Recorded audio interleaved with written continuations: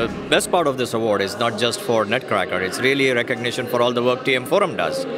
Um, and you know, it's a win-win for everybody. It's really about enabling our customers to quickly integrate uh, products and technology into their architecture. It's about speed to market. It's about making products easy to use.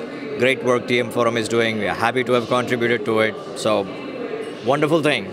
So they provide really the good, the best framework, right? They provide the right framework to be able to use and structure the APIs. Uh, they act as the mediator and the facilitator in all of this, and so you know they play the ideal role uh, of being the catalyst that drives a lot of the adoption of these open APIs. And So it's terrific work they do. Um, George, everybody uh, on the TM Forum team. So happy to work with them. It's been a great, great, great opportunity to do so.